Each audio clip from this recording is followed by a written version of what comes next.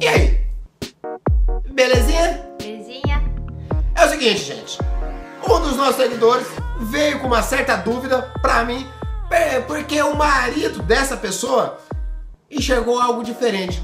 Um suspeito com meio de gracinha com uma uma criança japonesa, uma criança assim de 10, 12 anos, e esse homem tá- estava com uma atitude suspeita. Aconteceu. Esse brasileiro viu uma vez, duas vezes, três vezes, até que chegou a um certo ponto que ele teve que interferir, porque com o trem lotado, atitude suspeita de tarado.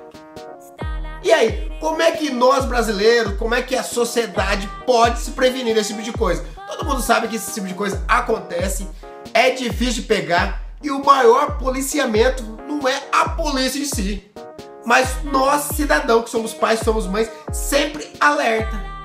Viu alguma coisa de estranho? Peraí.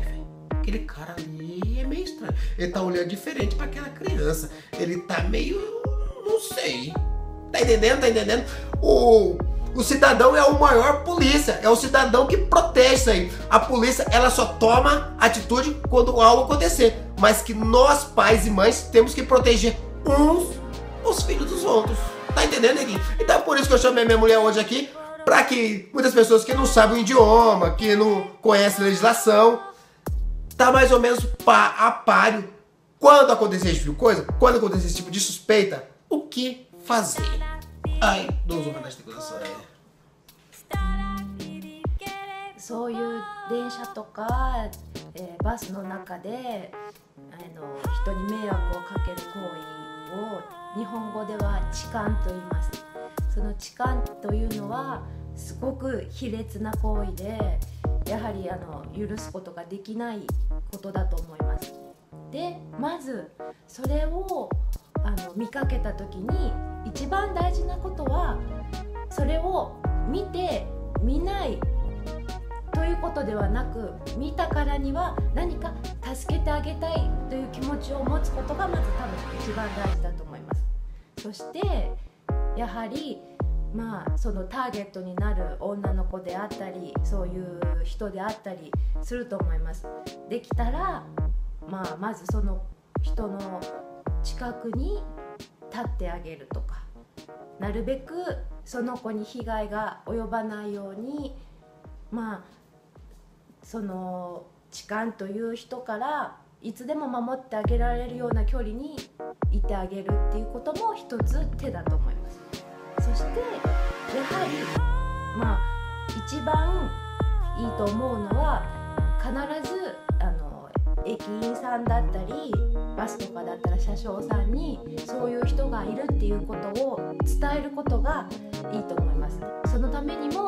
その人の特徴を必ず覚えて何でもいいです。カバンが黒だった黄色だった帽子をかぶっていた眼鏡をかけていた背が高かった太っていた何でもいいと思うのでその情報を、まあ、ノートか何かに書いてもいいし携帯にお喋って収めてもいいしどういう形でもいいですけど必ず記録を残してそれを 車掌さんや駅員さんにこういう不審者がいましたと伝えることが大事ではないかなと思います。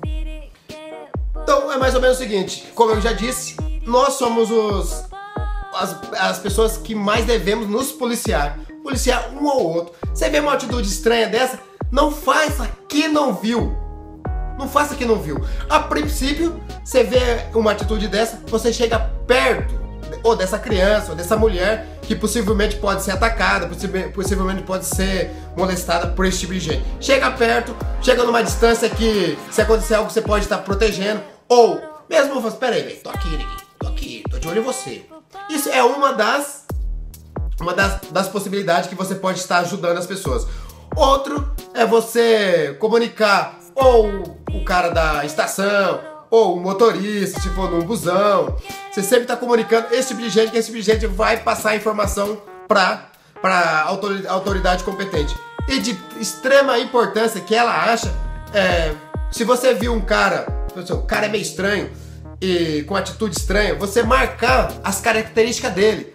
Ou o cara é gordo, o cara é magro, o cara tem 1,80m, o cara tá usando boné, é, óculos. Então você marca isso em um papel, faz uma anotação e se isso acontecer várias vezes ao dia, você, várias vezes, ou por semana, ou por mês, você vai anotando esse tipo de gente, daí então você passa ou pra polícia ou pra alguém ali da estação e com certeza as pessoas vão estar espertas por esse tipo de gente. É claro que já tem um, uma polícia, tem um pessoal de inteligência que trabalha nesse horário de pico, só que não é tão não é tão ágil assim quanto se nós tivermos um prestando atenção no outro. Belezinha, neguinho?